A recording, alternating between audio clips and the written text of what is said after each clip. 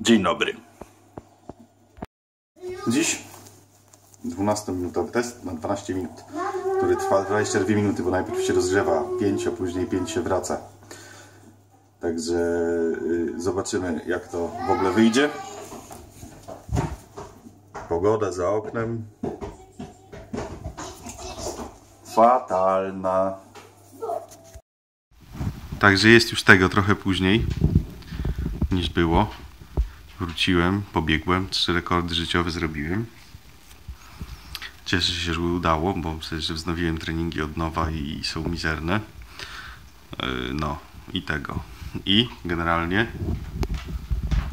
Borsuk przyszedł o 22 skończył pracę, wstał o 4. Jest teraz wypoczęty, gotowy, zwarty.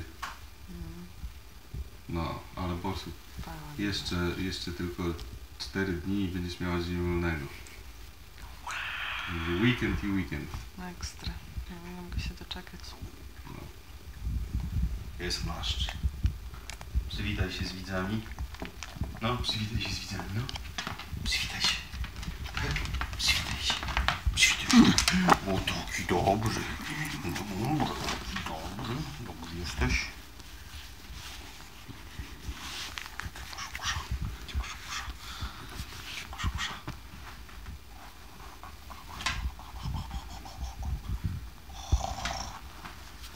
No, dobry, dobry.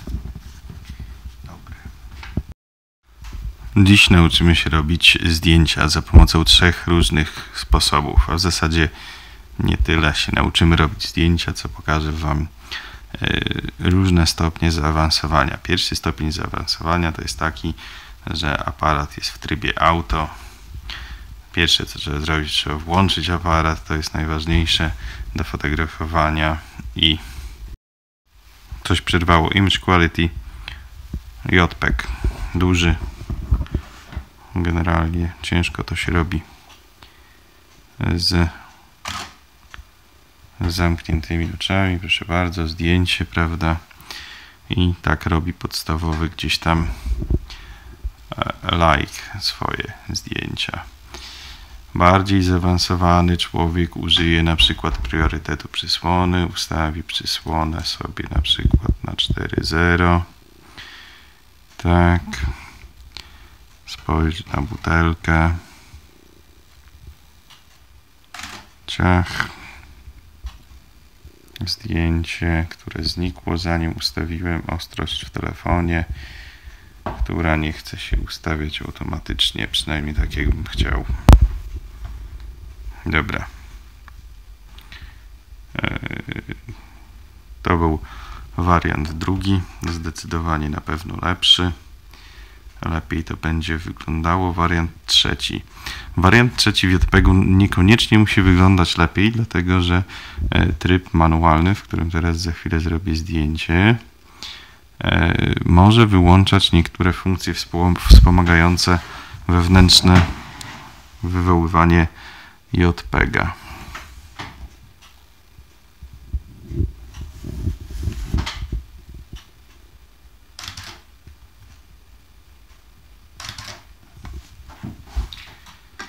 Zrobiłem zdjęcia dwa.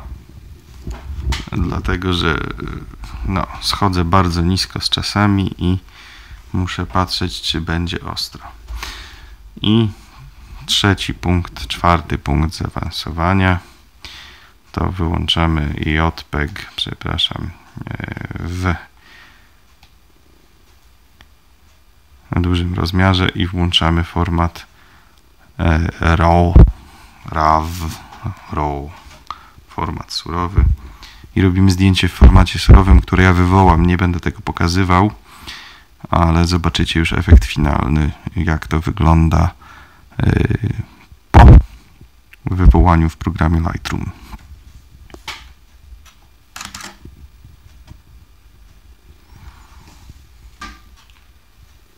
Najpierw zobaczymy tylko, czy wyszło jakoś tam w miarę ostre, chyba wyszło. I mm, dajcie znać, które zdjęcie najbardziej się podoba i czego jeszcze chcielibyście się dowiedzieć o robieniu zdjęć. To tyle na dziś. Trzymajcie się. Cześć.